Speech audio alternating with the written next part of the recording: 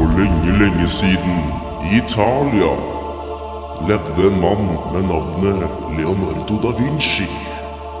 Nå, 563 år senere, bestemte fire gutter seg for å lage en sang om livet hans. Oh yeah. Da Vinci. Knut, Kasper, Emil og Peder har mekket låt. Hva er det? I 1452 var legenden født. Han gjorde mange ting som alle syns var sprøtt. Da Vinci var fra en liten by. Fra innerst i Italia begynte han å tenke på ny. Han var arkitekt, maler og vitenskapsmann. Han legger ned den dritten der som ingen andre kan. En, to, tre, bitch, gå ned på kne.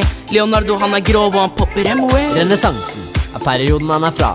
Hvis du ikke digger kunst, så kan du bare dra. Realistiske bilder var veldig populært. Klarte du ikke male det, så var det helt skjært. Perspektiv og harmoni. Skygger og lys fikk damene på glid. Bildene blir solgt for over en mil. Nå setter jeg over til kompis Emil. Nattverd Milano 1495.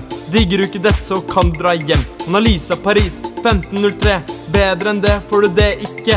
Renessansemannen ble han kalt. Helt til kristendommen kom tilbake og han falt. Leonardo var smart, jeg garra helt klart. Det er garra helt klart.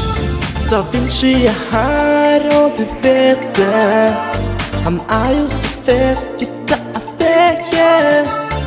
Nå får du høre masse fakta. Jeg synger i fleng og følger takta. Leonardo var en intellektuell ung gutt. Kødder du med han, så ender du opp skutt. Utdanning hadde han i humaniske fag. Han øvde på maling hver eneste dag. Han forsket på mennesker og skjærte med sag. Han skjærte med sag. Han skjærte med sag.